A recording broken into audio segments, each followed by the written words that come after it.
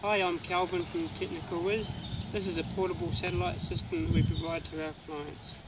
Parts that are required are some tent pegs here, a ClearSat satellite finder, an elevation guide, a compass, instruction book with the charts, a 1 meter cable, a 10 meter cable, satellite dish with an LNB, and last of all a tripod.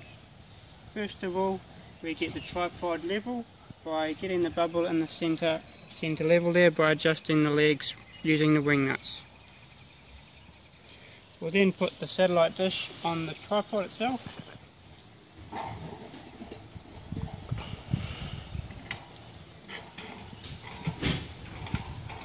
and turn the wing nuts firmly enough so you can still rotate the dish.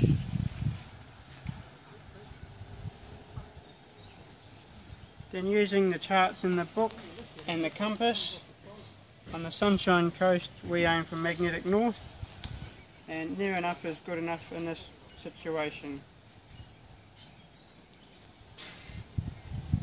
The next step is to adjust the elevation.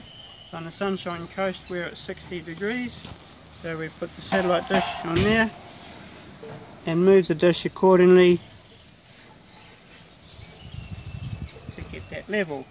And the other adjustment is the skew with the LNB on the front here. On the Sunshine Coast we're at plus 35 degrees and you can rotate that clockwise and anti-clockwise as required as per the charts in the instruction manual. We'll now connect up the 10 metre cable to the van or trailer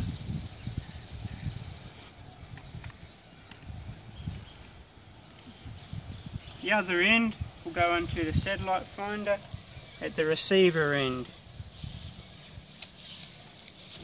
You'll see it start to turn on.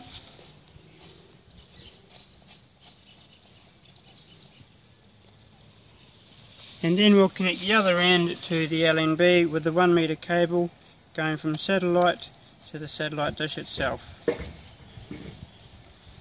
I normally poke it through the dish here to keep the satellite finder off the ground. And we do the connection up finger tight. Uh, we never use spanners or anything on the system. And now we'll begin our alignment process by pressing the OK button once and then one more time the LNB load will come up and that's an indication the LNB is working okay and our aim is to get the quality bar as high as we can and that will improve once we've found the satellite dish. We'll slowly scallop the sky to the left and the right and see if we can get the bar to rise. If you don't get any movement, slowly raise the dish by a couple of degrees and re-scallop the sky. So now that I have found it, I'll try and peak that by going up and down a little bit.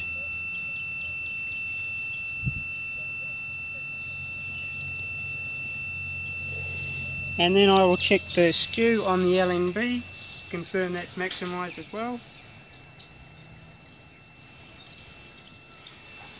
Then we'll lock it all off, keeping the meter connected to make sure you haven't bumped the dish while you're doing so. We'll now disconnect the ClearSat finder and connect the 10 metre cable directly to the LNB.